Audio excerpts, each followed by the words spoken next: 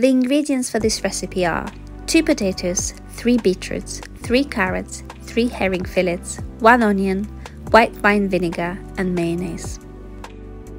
I am using salted herring in rapeseed oil that I got from a local polish shop.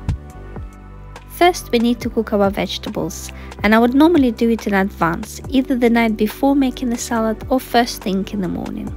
The vegetables need to be cooked until tender. To prepare the onion, we need to chop it into small pieces and marinate it for at least 15 minutes in hot water and white wine vinegar. Again, this is something that can be done in advance. The star of this dish, the herring, which we need to cut into small cubes for the base of our salad. By the way, herring is an excellent source of lean protein. In addition to that, it also contains many other key nutrients such as omega-3 fatty acids.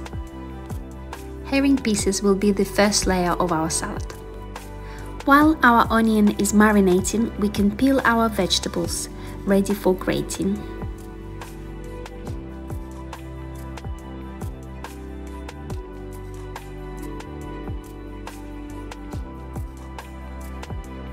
And now we are ready to assemble our salad, where the first layer is herring, then marinated onion, then grated potato with rapeseed oil from the herring pack over the potatoes, then grated carrot, grated beetroot, and finally mayonnaise.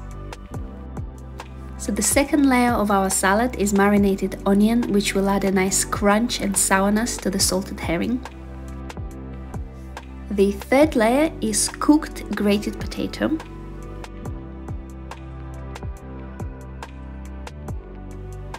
The potato needs to cover the herring like a fur coat.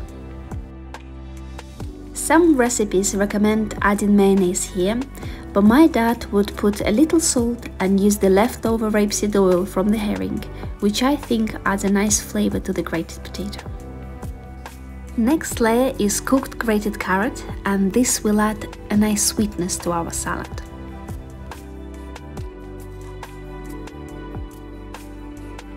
Finally, we add cooked grated beetroot, another star ingredient in this dish.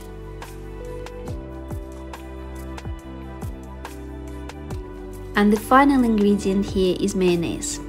Here I am only adding 2 tablespoons, which is about 80 grams of mayonnaise, uh, which for me personally is enough, but a lot of recipes say to double the amount, which will make the salad creamier, uh, so it is a personal choice.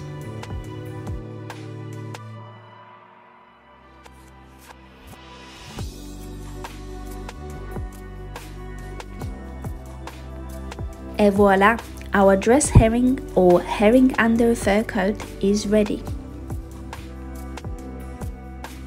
This salad is also known as shuba and is a popular dish in Russia, Ukraine, Belarus and across the former USSR, where it is a traditional favorite for New Year's Eve. Shuba salad has some historical significance. As you can read in this book, History on Your Plate, which my mom and her photographer friend published during the lockdown in 2020.